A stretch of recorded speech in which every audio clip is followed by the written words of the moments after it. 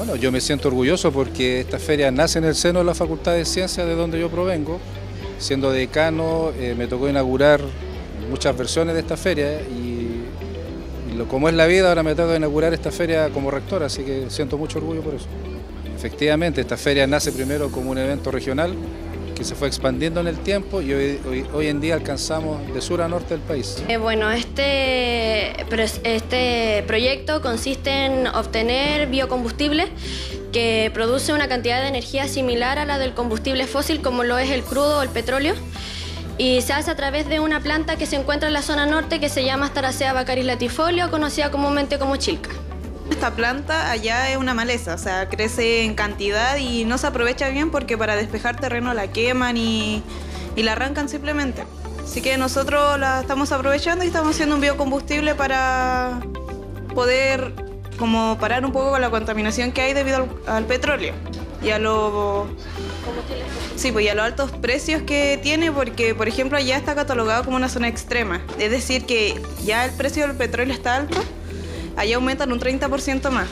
Entonces, por eso nació como la iniciativa de poder hacer un biocombustible con una planta que está mal aprovechada. Ya, estos elementos, este es un manto calefactor. Este expulsa temperatura, uno lo va regulando y aquí se pone el, tipo, el agua o lo que se desea eh, aumentar la temperatura a la solución y este va a expulsar vapor.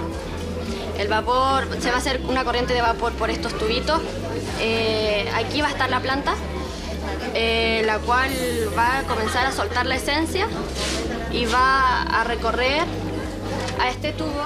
Eh, ya llega el, como la esencia de la planta de la chilca a este tubo y acá si se puede notar hay dos tubitos, uno que está en el medio y uno que está alrededor. El que está en el medio es donde va a pasar la esencia y acá va a pasar agua helada que va a refrigerar esto para que pueda condensar. Sí, y se haga un aceite. Y acá finalmente sale el aceite de la chica.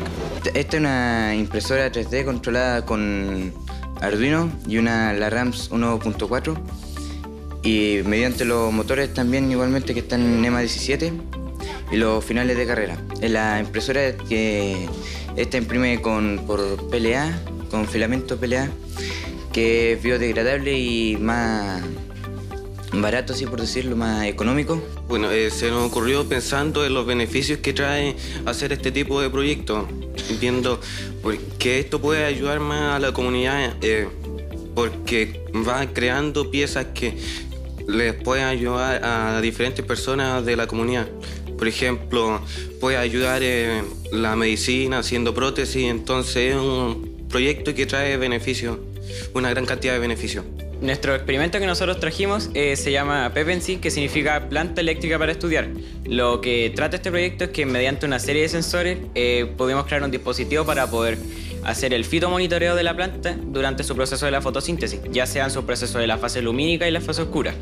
Que la fase lumínica en sí se basa en que la planta transforma la energía lumínica en ATP. Lo que es ATP es adenosin trifosfato y la fase oscura más que nada es la fase o ya sea independiente de la luz, que esa más que nada ocurre en el proceso de la fijación del nitrógeno, que es realizado con el ciclo de Calvin. Bueno, el principal beneficio es poder eh, ayudar a la planta en sus condiciones. Por ejemplo, aquí tenemos en la pantalla las condiciones de la planta, su humedad, su temperatura y la humedad de su suelo. Eh, así podemos saber si tiene, si tiene suficiente agua, eh, suficiente luminosidad para ayudarla y mantenerla viva en varias aplicaciones que tengan que ver con jardinería también. Y esto no es solamente con una sola planta, con cualquier planta se puede, árboles incluso. Nosotros construimos un purificador de agua casero para los sectores rurales que sufren de sequía en el verano. Esto funciona con filtros naturales y todo es casero. Y nuestro proyecto es único ya que no existe en el comercio. El proceso que utilizamos es primero extraer el agua, luego eh, este agua pasa por el clorador y eh, para luego pasar por los filtros y así quede totalmente purificada y se pueda tomar y ser utilizada en los sectores rurales. Están los que nos visitan mucho tiempo, están los que vienen recién llegando, que vienen por primera vez. Y a todos hay que irlos recibiendo de, mejor manera cada año.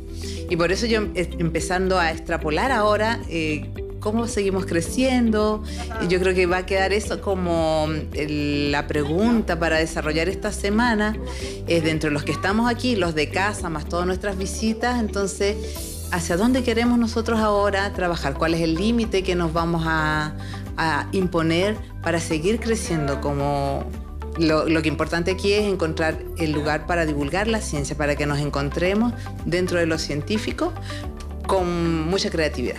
Nuestros experimentos en general se tratan sobre la mecánica de fluidos. Eh, todos estos experimentos trabajamos con agua y la presión, eh, según el principio de Pascal, que con el agua tenemos la presión, podemos eh, hacer movimientos. El escorpión se mueve mediante un fluido, que un fluido es una, un líquido que está, sus partículas están cohesionadas con una fuerza muy leve. El principio de Pascal dice que al ejercer la presión se va a ir todo completamente hacia el otro lado. Entonces, por eso la presión del agua la podemos usar como una fuerza. Eh, bueno, empezamos los primeros días en clases. Eh, nosotras dos hicimos la garra. Eh, nos demoramos alrededor de tres semanas, tres clases. Y ellos dos hicieron este trabajo.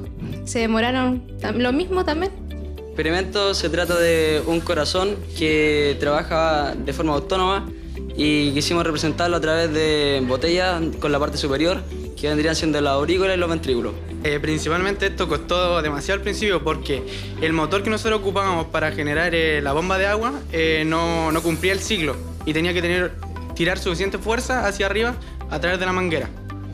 Entonces tuvimos que inclusive comprar una, una, una, bomba, sí, para que pudiera cumplir el ciclo de esa manera.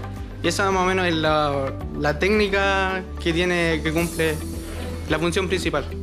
Es una muy buena instancia poder compartir con, con los eh, demás colegios que se están presentando acá, poder ir conociendo lo que se está desarrollando en el área de la ciencia, la tecnología y que también los alumnos tengan la posibilidad de interactuar con los, con los demás niños y poder ver qué, en qué nivel se encuentran, cómo, qué pueden seguir desarrollándose en esta área. De nosotros, primer año que venimos acá, eh, estamos inscritos en, otro, en otros, entre comillas, torneos o ferias tecnológicas, pero este es el primer año que quedamos acá. Eh, esperamos que el próximo año podamos traer algo tan interesante como esto o la versión 2.0 de la impresora. No, es muy buena. Eh, para serles sincero, primera vez que participo en esta feria. Yo tenía algunos, siempre algunos pesquemores, ¿ya? Y momento me pareció fantástico. Y me da la impresión de que la feria más grande que aquí tiene la región. Lo que tú dices refleja el hecho de que como nosotros como universidad estamos acercando lo que es la ciencia y la tecnología a la comunidad, estamos acercando lo que es la ciencia y la tecnología a la juventud del país. Por eso que aquí vienen colegios, liceos, que son el futuro de los futuros científicos que va a tener Chile.